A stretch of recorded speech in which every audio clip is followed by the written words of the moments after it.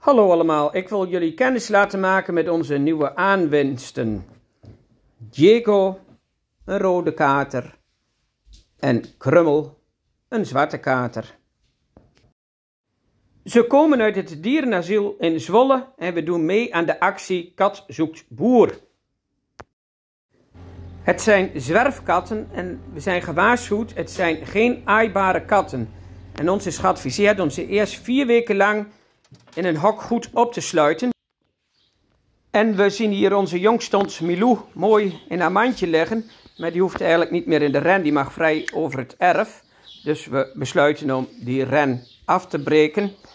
En je ziet het, ik heb er een mooi pakketje van gemaakt. Die kan ik met de avant richting de stal rijden. En dat doe ik nu.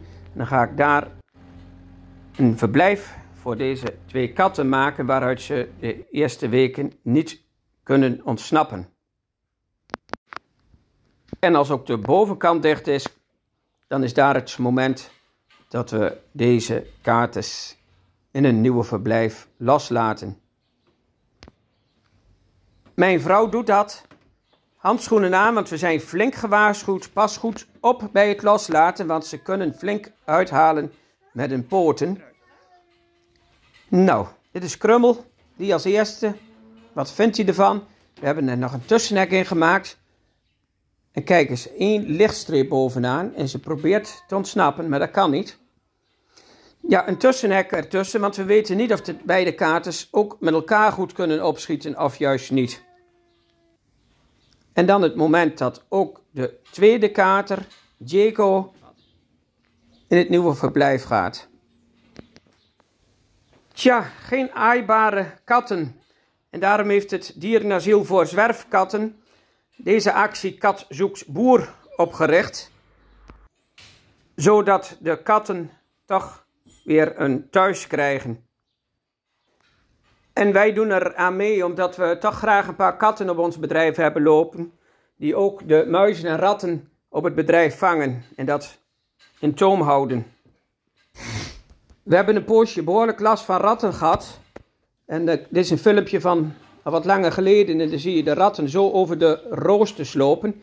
En ondertussen is er ook een plaagdierenbestrijding uh, bezig geweest. En gelukkig zie ik nu geen ratten meer in de stal. Maar voor de toekomst willen we dat ook gaan voorkomen.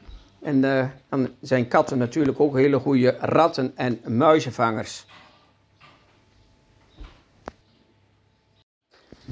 En dus hier zo tussen de koeien in de stal, daar mogen de katten straks vrij rondlopen. Maar we zijn geadviseerd om ze eerst een week of vier gewoon vast te houden. En nou, hier hebben ze een mooi verblijf. En zo kunnen ze mooi wennen aan elkaar en aan de geluiden in de stal. En dan over vier weken mogen ze los. En als ze een paar weken in het hok zitten, dan probeer ik ze eens wat te benaderen. Maar oh, oh, oh, wat zijn ze wel en wat blazen ze? Weer de handschoenen aan, want ik vertrouw ze niks.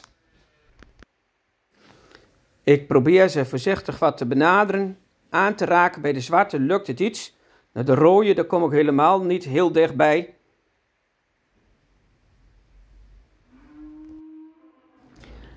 Want als ik dat wel doe, en natuurlijk heb ik het even geprobeerd, dan haalt hij flink uit. Nou, we gaan het accepteren. Het zijn geen aaibare katten, maar wel katten die we graag op ons bedrijf willen hebben. En daarom deden we mee aan deze actie Kat zoekt boer.